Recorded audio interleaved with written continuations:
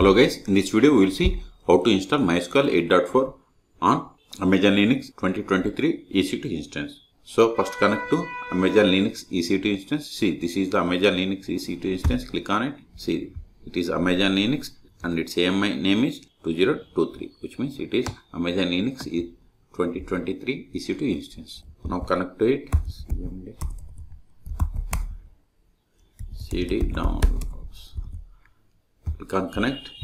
Connect it by using SSH. Hit enter. See, I have successfully connected to Amazon Linux 2023. Even we can also verify more slash os hyphen release. See, I'm on Amazon Linux and its version is 2023. Control to clear screen. Now install MySQL. Go to mysql.com. Click on downloads. Scroll down. Click on MySQL community downloads. Click on Yum repository. Then copy the first one that is MySQL 8.4. Click on this download. Then right click and select the copy link address. Then go to Amazon Linux EC2 instance. Then type wget, paste it, hit enter, ls. See here we have the RPM. Install it sudo dnf install then copy this one. Right click paste it hit enter. Type i for confirmation and hit enter. See it is going to install mysql 8.84 that means 8.4 hit enter. It is success. Now install my control to clear screen. Now install mysql server. Sudo dnf install mysql hyphen community hyphen server. Hit enter. See it is going to install mysql version 8.4.2 okay? Hit enter type 5 and hit enter.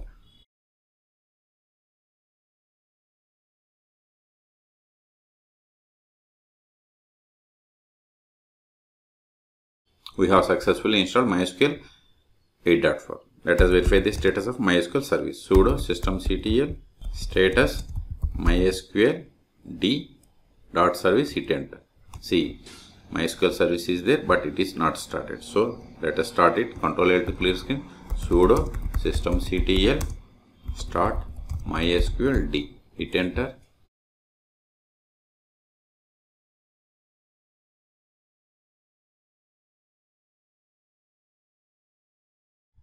we have successfully started MySQL service. sudo systemctl status mysql d. Hit enter. See MySQL service is started and running 12 seconds ago. It is also enabled. Now get the temporary password cat var logs mysql dot log then grep password we have to run this command with sudo see this is the temporary password okay from this r to this i. This may be not same for you okay. So let us connect to it sudo mysql hyphen u root hyphen p then copy this password.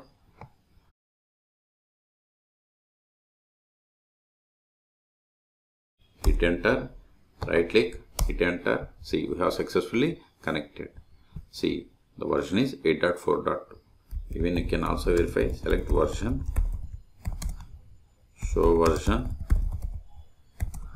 See this is this command is correct but we have to set the password for root account. The first step after connecting to mysql service we have to set the password for root user. Alter user alter user root at the rate localhost identified by identified by provide new password. We have successfully set. Now run the select version. See we have installed mysql 8.4.2 okay now exit. Connect to mysql again with the new password. Mysql hyphen u root hyphen p then provide this password. Hit enter provide the password. See we have successfully connected. Show databases see these are the default databases comes with mysql let us create a database in this Amazon Linux EC2 instance. Create database R2. Show databases. See, new database is added. Let us create tables in this database. Before that, we have to switch to this database by using the command use. Then provide the database name, put semicolon. Now database change. Let us verify list of the tables show tables. See I don't have any tables. Let us create a table create table. Student snum int primary key. Sname varchar 50 see it is typo hit enter. Show tables. See one table is there. Now let us insert some data into this table.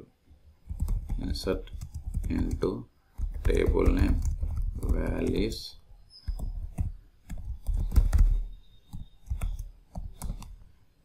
Insert one more row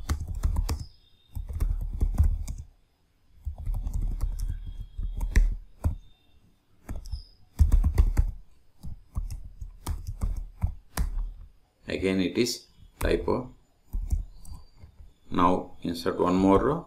This time I am going to use the same 101 as student number but I am changing S name. This will throw error because here I have created table S name as primary key. So it won't allow duplicate. So we have to give unique values for the primary key columns. Give the 102 and hit enter. Now verify the data. Select star from student. See this is the data that we have inserted in the table student. But star means it retrieves all the columns of the table. But if you want to select the particular columns like s name s name from student see we got the same. But still if you want only this particular s name column select s name from student from student. Now let us create a user. Create user James identified by provide the password. Again it is typo so give the caps. See you have successfully created. Let us verify list of the users. Show users but this will throw error because we don't have any command for the show users. Okay let us verify. Select user from mysql dot user. Put semicolon. See here. This is the user which you have created. Now exit. If you want to restart mysql you have to use the command sudo systemctl restart mysql d. Now verify the status again. Sudo systemctl status mysql d See, we have restarted 7 seconds ago. If you want to stop, we have to use the same sudo system ctl. Just give stop and give the mysql d. Hit enter. Now verify again sudo system ctl status mysql d. See, MySQL service is stopped. Now control L to click. Now let us connect to MySQL. MySQL hyphen u root hyphen p. Then provide the password of root user. See, we are unable to connect why? Because it is stopped so let us start it again. Sudo system ctl start mysql d. Hit enter. Verify the status again. See mysql service started 4 seconds ago. Let us connect to it. Mysql hyphen u root hyphen p. Then provide the password of mysql user. See we have successfully connected. Let me exit now try to connect to MySQL with the new user that is James. MySQL hyphen u username is James hyphen p hit enter provide the password.